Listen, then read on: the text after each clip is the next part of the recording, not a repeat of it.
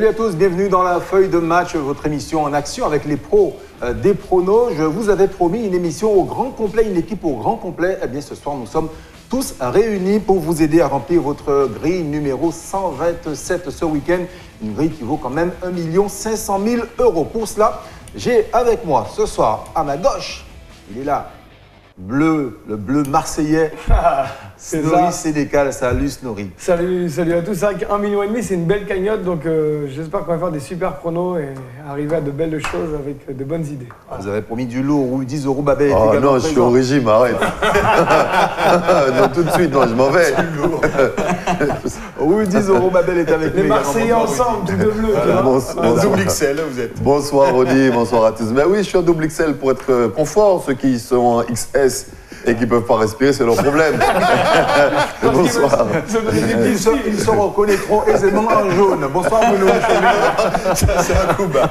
Bonsoir, ravi de retrouver l'équipe. Vous m'avez manqué euh, la semaine dernière. Mais... Mais il t'avait qu'à pas partir. Voilà. Ouais, voilà. En plus, Ouais, sur le plan de coupe, on voit que t'es gainé, tu sais, ouais, tu, fais, tu te fais l'effort, tout ça, avec ton jaune. Christophe Quarteo, bonsoir. Oui, salut Ronny. Bon, ben, prêt pour gagner 1 500 000 euros là. En tout cas, pour, Hein, pour faire gagner, On pour est faire motivé gagner de ce nos téléspectateurs, Hein, surtout. voilà. Euh, ce soir, les amis, on va commencer avec l'actu de la semaine, une actu euh, qui va nous mener à Lyon, qui va également nous mener du côté de Toulouse, et puis on va faire un petit détour par Paris. Et on va commencer avec toi d'ailleurs, Christophe, euh, puisque, bah oui, euh, Atem Benarfa a eu, été au Prud'homme, si mes souvenirs sont bons, c'était hier.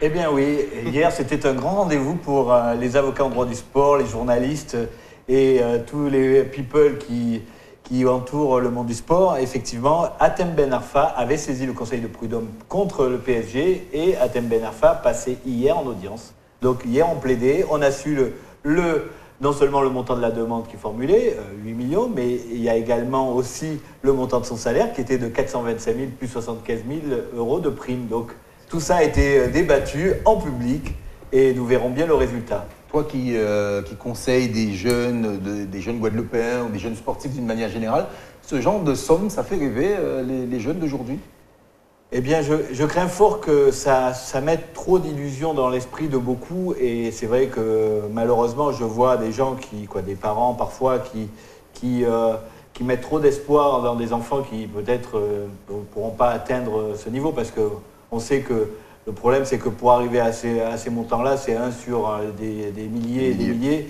Et malheureusement, le parcours est long et on pourra en parler un jour. Mais vraiment, euh, le- même le centre de, de rentrer dans un centre de formation, déjà, c'est pas, c'est pas déjà euh, l'aboutissement. Donc, euh, effectivement, ça fait rêver. Euh, je pense qu'il faut euh, des fois revenir au terre à terre parce qu'il n'y a que le travail qui paye. Et un jour, si effectivement, en plus, on a le talent, on pourra peut-être toucher ne serait-ce qu'un dixième de toutes ces sommes-là.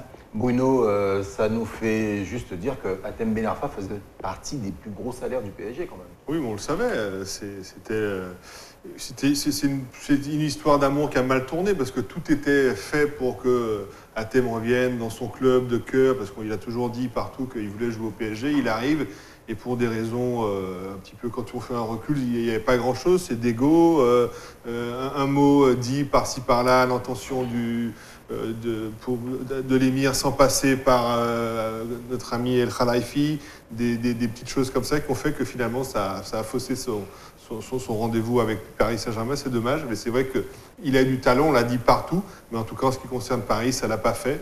Et même depuis qu'il est parti de Paris, ben, avec un petit peu, peut-être une, année un peu à Rennes, on le voit plus, c'est dommage. Pour moi, ce gars, il s'éparpille trop. Enfin, qu'est-ce qu'il fait encore? À- Il devrait avoir des avocats pour s'occuper de ça. Il devrait être sur un terrain de foot en train de jouer. Il n'a pas encore 35 ans ou 36 ans.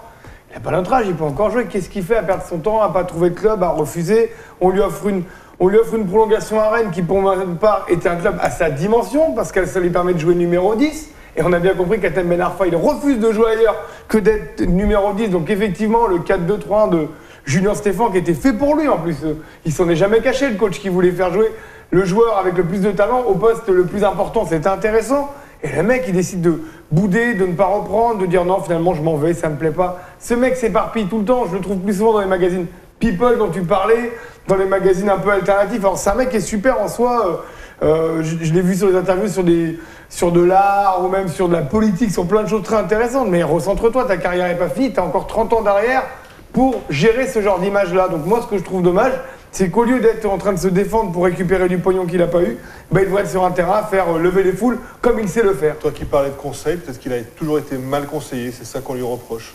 Parce que quand tu dis le garçon, il est, il bien, il est mal conseillé. Il y a autour de lui des gens oui. qui veulent Parce justement que- récupérer ces, ces- ces- ces- ces- ces sommes d'argent et euh, en lui donnant des, des mauvais conseils. Parce que tu crois qu'il n'est pas suffisamment euh, adulte et mature pour euh, se prendre en main tout seul? Je crois qu'il a besoin de quelqu'un pour le conseiller. Mais ça se voit sur le terrain, sur sa façon de faire. Il n'a besoin de personne pour, pour ça. Il le fait très bien tout seul.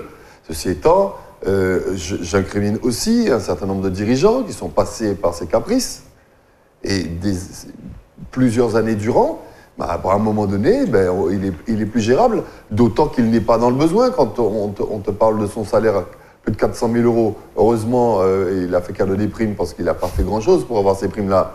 Donc, euh, c'est pas quelqu'un qui est dans le besoin. C'est un écorché vif, c'est quelqu'un qui est toujours dans la provocation. Euh, bon, c'est pas, c'est pas qu'il a besoin de l'argent, soyons honnêtes. Hein, c'est plus qu'il a. il- D'abord, il a eu sa revanche sur le PSG, hein, revanche sportive. Avec cette finale, ouais, gagnée. Revan- revanche sportive. Aujourd'hui, il, veut il veut que le PSG mette un deuxième genou à terre devant lui, parce qu'il s'agit de sa personne et rien d'autre, à mon avis. Et je le partage. Non, simplement pour rebondir sur ce que disait Snorri, euh, effectivement, le, conseil, euh, l'entourer, euh, je crois que Rudy a parfaitement résumé. La problématique, ce sont les, joueurs, les stars de football. Le problème, c'est que lorsque je parle avec des avocats de grands joueurs du PSG ou d'ailleurs, le problème, c'est qu'ils sont ingérables. On a beau leur donner des conseils, euh, ou ce sont des impulsifs, ou ce sont des égos surdimensionnés, ils font que ce qu'ils veulent. Donc après, l'avocat qui les conseille va essayer de rattraper euh, effectivement ou les, impairs ou les bêtises, mais de manière générale. Et d'ailleurs, euh, c'est même l'avocate du PSG qui le dit. Il dit Je n'ai affaire qu'à des grands enfants. Chaque fois que j'ai un problème, que le club a un problème avec un joueur, on dit Ah, mais tout est écrit dans le contrat, mais ah, mais je n'ai pas lu le contrat, mais vous êtes des adultes, messieurs. Donc voilà, c'est la problématique des, des enfants gâtés du football. Ouais. L'autre euh, autre actualité de cette euh, semaine, eh ben, on va parler d'un d'un- d'un entraîneur à l'allure olympique, euh, puisqu'il est passé par le LOSC. Il a fait le stade olympique de Rome, l'Olympique de Marseille, et là, il se retrouve à l'Olympique lyonnais. Il s'agit de Rudy Garcia. C'est un Jean Garcia. Ah ouais. Il Euh, débarque de nouveau. Qui, qui- Enfin, il il n'était jamais vraiment parti de France d'ailleurs. Il débarque, moi ce qui me, ce qui me fait euh, réfléchir, c'est la façon dont il est recruté. On a plus l'impression de, que c'est un entretien d'embauche, euh, euh, puisque euh, finalement Olas a fait venir trois, trois entraîneurs euh, pour en choisir Il finalement n'a pu en faire venir que trois, en fait, pour être plus précis. C'est ça l'histoire. en tout cas, il y a- il y a trois, trois entraîneurs qui ont passé donc, les audits de M. Olas. Et au final, pour, pour moi, tu, tu veux montrer vraiment quelque chose, tu t'es planté.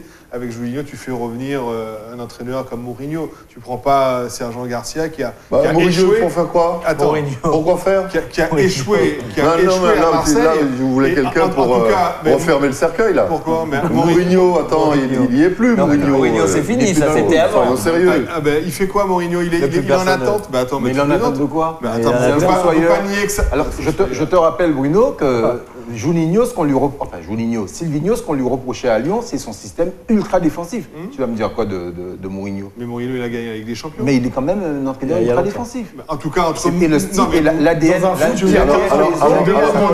moi qui aime le foot, 15 moi qui aime le foot, tu crois que j'ai été heureux de voir l'Inter gagner la, la coupe, la Ligue des Champions avec euh, Samuel Eto'o arrière latéral? Non, non, non. il a, il a gagné, euh, en tout cas. Ouais, ouais, Ouais, pour mais- un club qui n'a Bon, pas alors, d'entraîneur. ok, il a C'est- gagné. D'accord. comparer. Je te dis simplement. Oui, il a gagné. Et- alors, je, je Attends, poursuis c'est ton toi qui raisonnement. me parles de Deschamps Je et de poursuis, ton, je poursuis ton raisonnement. Je poursuis ton raisonnement. Je poursuis ton raisonnement. Il a gagné. Ceci étant, moi, je n'ai jamais dit que je n'aimais pas le jeu de, de, de, de- de Deschamps. Ça, c'est toi qui l'as dit. Non, c'est moi qui je continue à Je dire. n'ai jamais dit que je n'aimais pas le jeu de Deschamps. J'en veux pour preuve l'Argentine. Ouais, qu'il y a eu le malheur de se découvrir. Faut pas se découvrir contre l'équipe de France. Bon, si tu te ok. découvres, t'es mort. C'est pas compliqué. Bon. Si tu te découvres, Alors, t'es- mort. euh, On est trop fort. Je reviens donc à, à, à Mourinho, ok. Mais il est revenu à Chelsea. Il n'a pas gagné. Il est allé à Manu. Il n'a pas gagné. Ce n'est pas euh, la garantie absolue, ce n'est pas la panacée. D'accord Aujourd'hui, Aujourd'hui, quand tu prends Mourinho, tu peux faire venir des, des- des- des joueurs. quel joueur Ah non, j'en suis pas Mais certain. Mourinho a des problèmes avec son vestiaire, avec ses Ouais, joueurs partout voilà. où il est passé Bruno, depuis. moi- Il était à Manchester United, regarde ce qu'il a fait. Non, non, mais Il moi a je. le mec comme Pogba au placard. Non, alors moi je comprends qu'au départ, le problème d'Ola, c'est qu'à chaque fois, il annonce des grands noms pour calmer les supporters, pour euh, entretenir le truc. Et à chaque fois, en fait, ça fait pchit. Euh, et je crois que l'erreur de- qu'a fait euh, en fait Olas, c'est en se recroquevillant sur un entraîneur franco-français, il s'est trompé. Pourquoi? Parce qu'au départ, il voulait s'émanciper, s'ouvrir avec un, soi-disant entraîneur étranger. Mais il n'a pas pris un entraîneur étranger, il a pris un second novice au poste de numéro 1 qui est d'origine étrangère. Pour moi, ça n'a rien à voir avec l'idée de l'entraîneur étranger. Donc déjà, dès le départ, le premier casting était peut-être pas le bon.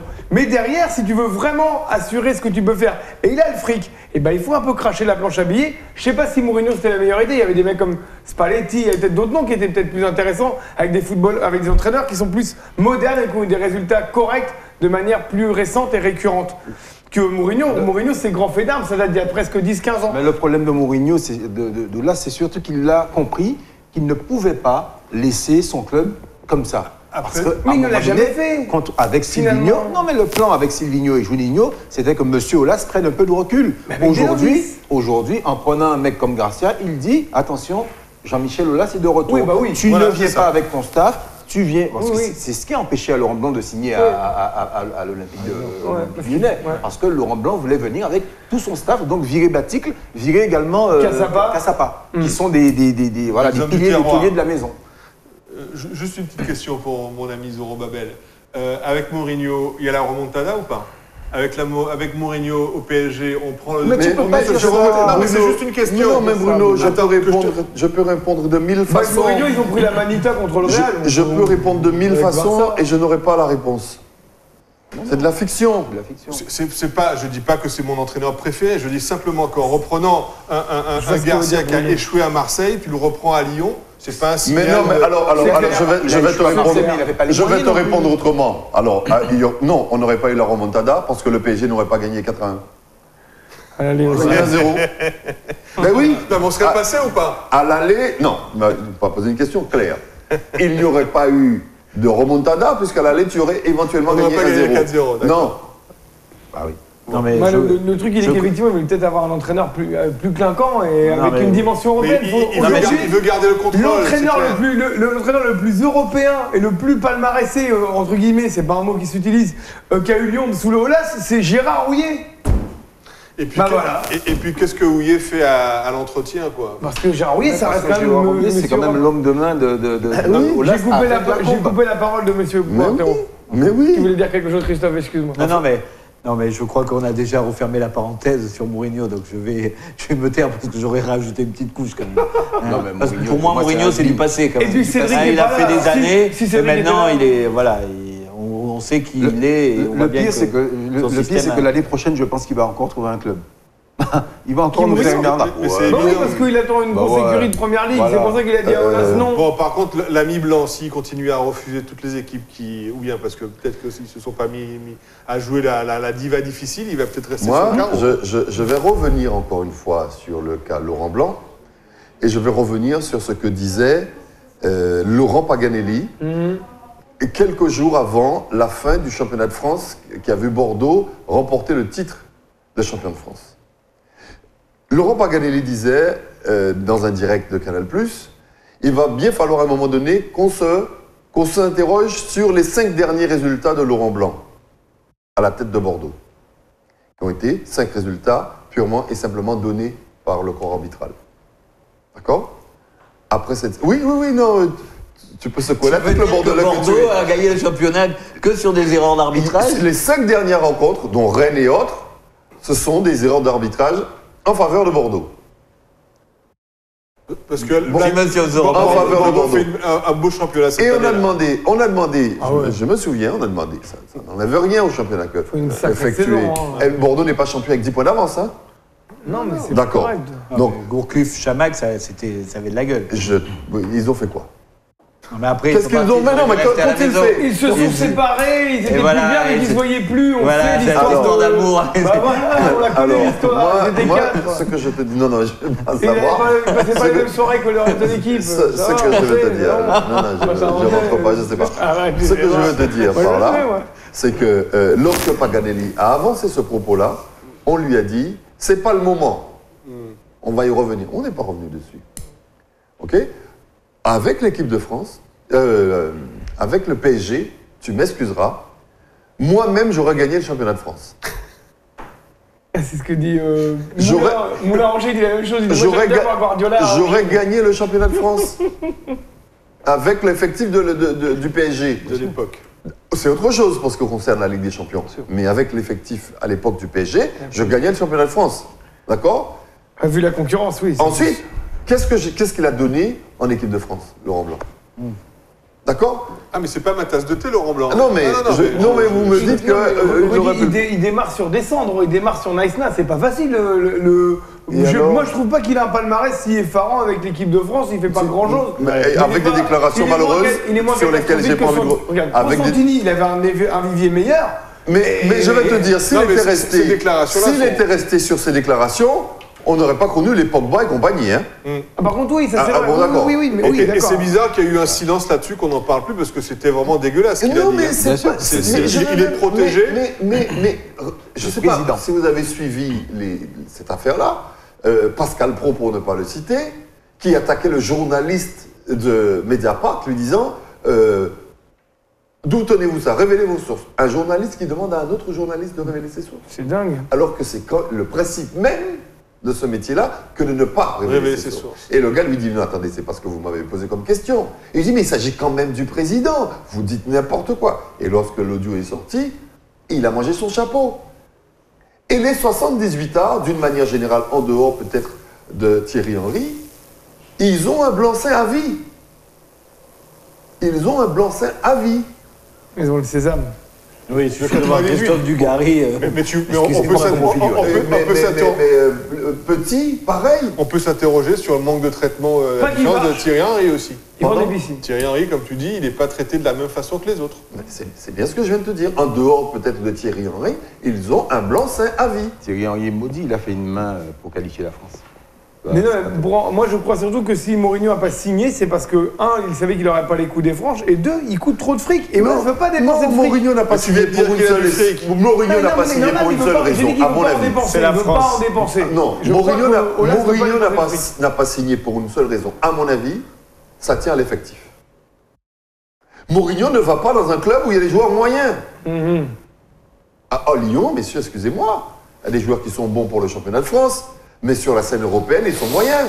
C'est hélas le problème. Ils sont moyens. Non, Et puis- et puis- il a et vu puis de Chelsea, Et lui-même puis- il avait puis viré, il l'avait envoyé Ceux qui sont bons en il équipe nationale comme Memphis Depay, quand ils reviennent à Lyon, ils sont, ils sont nuls. Son bidon. ouais. Non, Depay il est pas bidon, t'as vu ses Il- stats, ton il- championnat il, de il France met pas la même implication. Peut-être pas, mais il reste et- quand et même l'implication en foot, c'est Il est bidon. Snowy. Non, il, se- il met, il au se met au foot, niveau ah. de l'affiche pour moi. Il se met au niveau de l'affiche. Tu vois ce que je veux dire?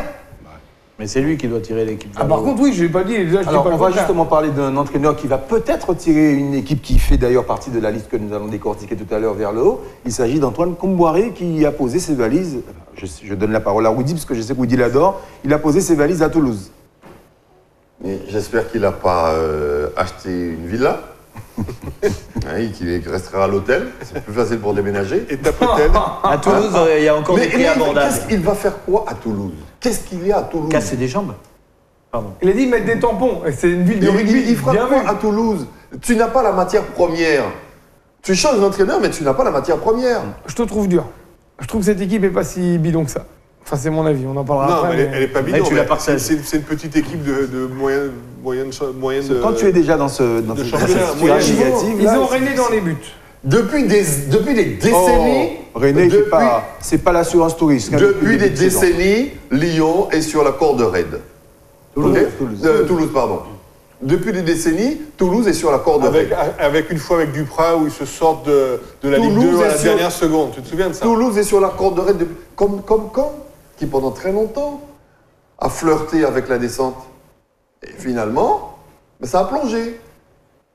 Ok? Comme Lens, qui a plongé aussi. Donc, c'est une bonne petite équipe qui est, taillée pour jouer le maintien. Mais euh, quand ça part en vrille, c'est compliqué. Et donc, lui, il va. il- à la limite, je dis, entraîneur, prend quel risque? Aucun. Il y a, va il y a- là-bas, il y a il des bons. Il y a viré, des bons. Il est viré, on lui file son, il lui- euh, et on lui file son argent. Comme, Il comme va, on- il va jouer un peu au golf. comme on voulait, on voulait que ce soit euh, euh, Printemps qui démissionne pour qu'il n'y ait pas à, à lui faire son chèque, ben, il lui dit Moi, moi, je pars pas. Ben, il va aller là, ça va pas marcher, on va lui faire son chèque, il va retourner au golf. De- demandez à Jardim. Quel risque il prend Il prend aucun risque. Il n'y a, pas le- il y a pas la matière première à Lyon. La, Peut-être la- que la Combo- par- la parole.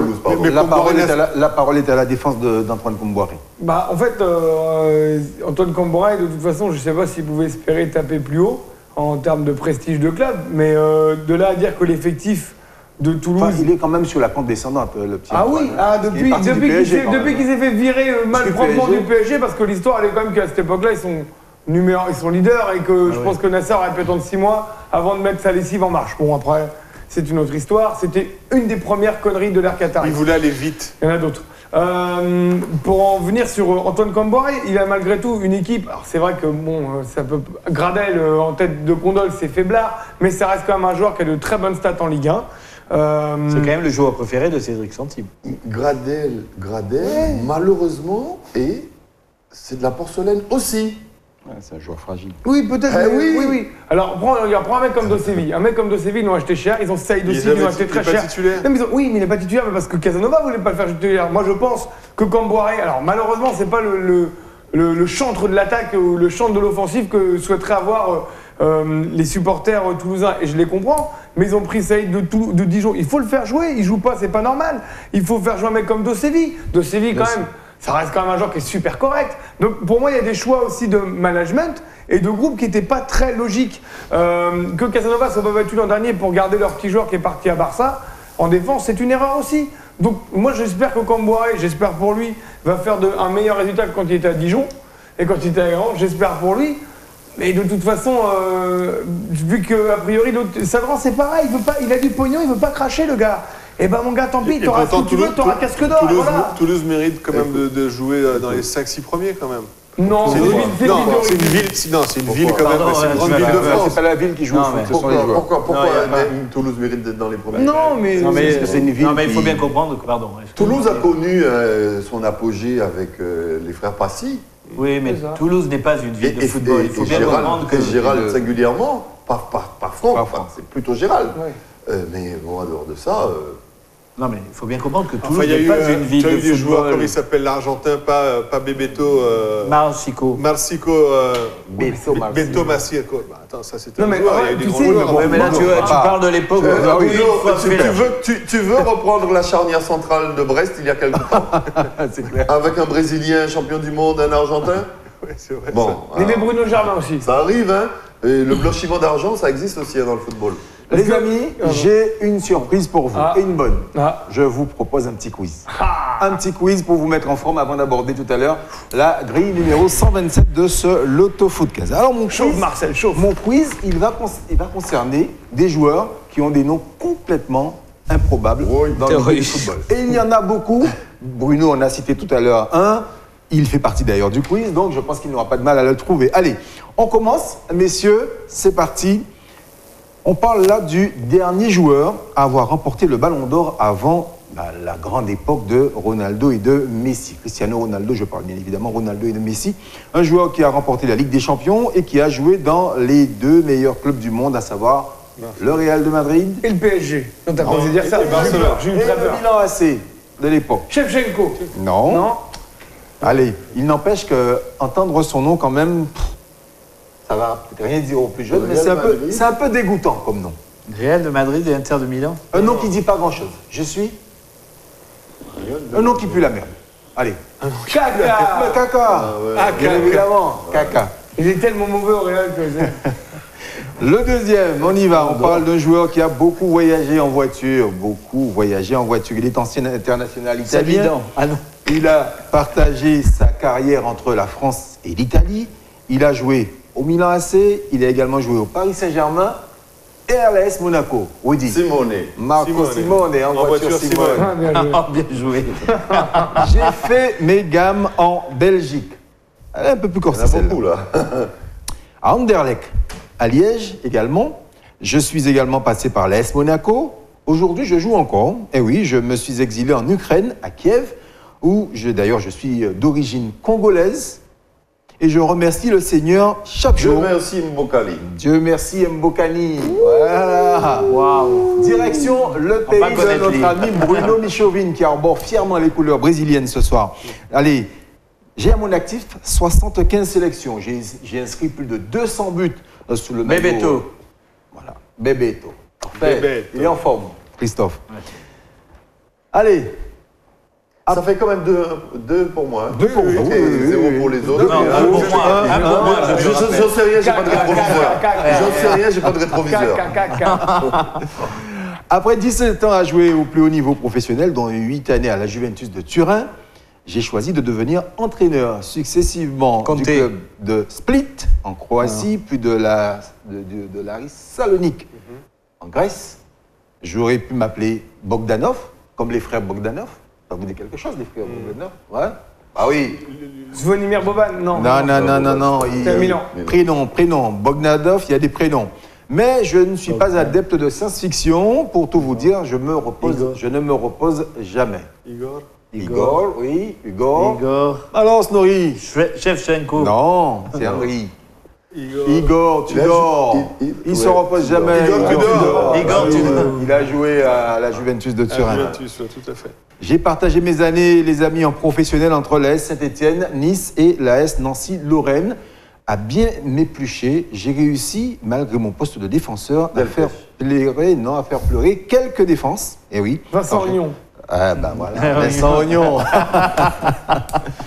Quant à moi, j'ai un nom issu, allez, euh, qui puise d'ailleurs son origine dans les profondeurs de l'Europe de l'Est, en République tchèque plus précisément. J'ai porté, j'ai remporté la Ligue des Champions et j'ai près de 80 sélections Milan avec l'équipe Barros. nationale. Non. Non, tu n'étais pas bien loin. Liverpool, il a gagné. J'ai stoppé ma carrière au pays en 2011, mais j'ai souvent tremblé sous les OIS hein, ou encore les arbitres. hein.